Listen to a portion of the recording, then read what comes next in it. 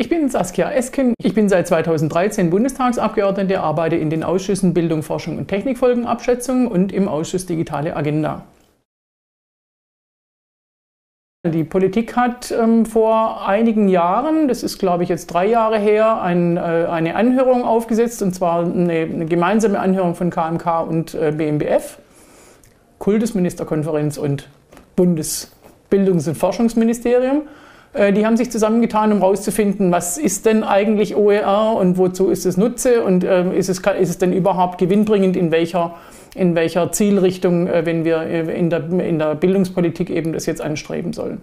Und die sind zu sehr positiven Ergebnissen gekommen und im, in der Folge ist es uns ähm, als, als SPD-Fraktion im, im, Bundestag gelungen, einen Haushaltstitel in den ähm, Haushalt des BMBF einzubringen über einen geringen Betrag von 2 Millionen Euro pro Jahr, aber immerhin.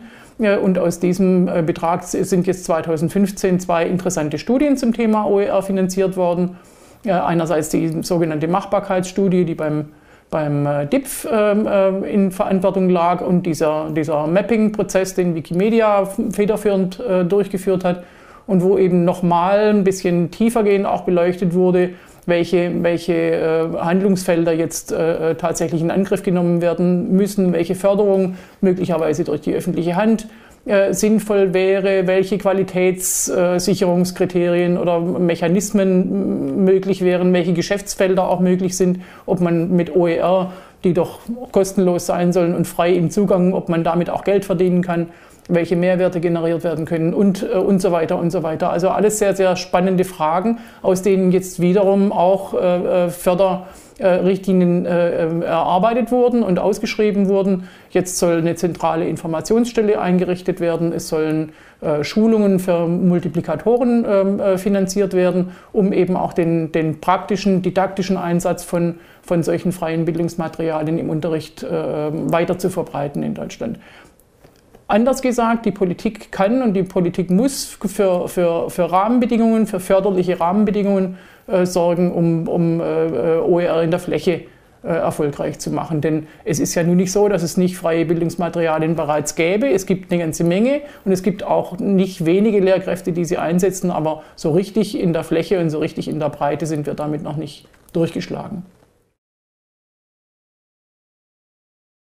Naja, es ist einfach zu wenig bekannt. Ich glaube tatsächlich, da gibt es diese Community, die wir hier antreffen, die ist tatsächlich ähm, doch, redet schon seit einigen Jahren miteinander und äh, übers Thema, aber man, man, äh, man dringt nicht so, so, richtig nach draußen. Ich denke, es gibt ein großes äh, Vertrauen von Lehrkräften in, in die, in die äh, konventionellen, bisher üblichen äh, Lehr- und Lernmaterialien, sprich äh, Schulbücher ein großes Vertrauen darin, dass die anwendbar sind, dass die richtig sind, dass die qualitätsgeprüft sind, dass da keine Lobby-Einflüsse reingeflossen sind und all diese äh, ähm, ähm, Dinge, die, die, die man eigentlich gerne ausschließen möchte.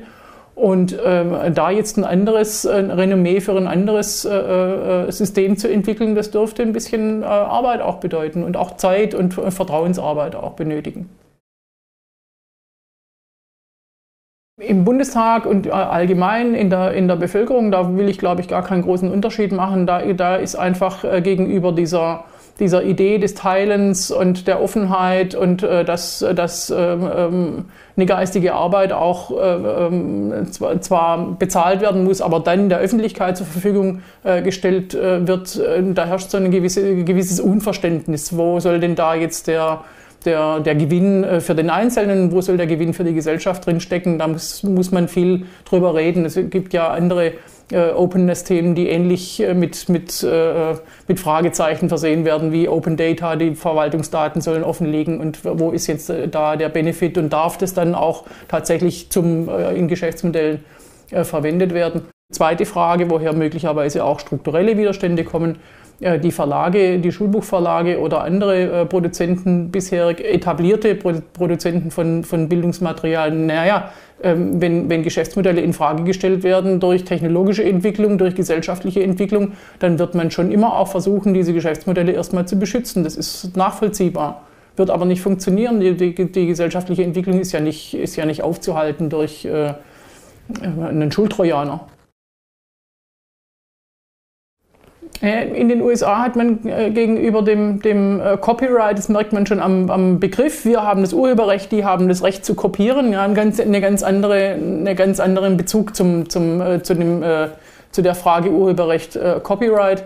Ähm, der, der, die, die Fair-Use-Klausel ähm, unterstützt sozusagen den, den Gedanken der Bildung, indem in, in sie besagt, wenn ich es einsetze für, für einen guten Zweck, für den Zweck der Bildung, für den Zweck der Wissenschaft, dann äh, bin ich vom, von, von, der, von der Beachtung des Urheberrechts befreit. Äh, grob gesagt, ja. Und äh, das, das wäre, das wäre eine, eine, eine Komplettumkehr unseres Gedankens des Urheberrechts. Und ich glaube, ich glaube nicht, dass wir da hinkommen werden. Ich denke aber schon, dass wir die Möglichkeit haben, vielleicht nicht im ersten Schritt, äh, der jetzt ansteht, aber vielleicht in einem weiteren, das Urheberrecht so weiterzuentwickeln, dass tatsächlich der, der Einsatz von, von geschützten Materialien im, im, äh, im Bildungszusammenhang, dass der erleichtert wird, besser ermöglicht wird. Im Moment ist es sehr, sehr schwierig und, und bremst auch äh, äh gute Bildungsarbeit.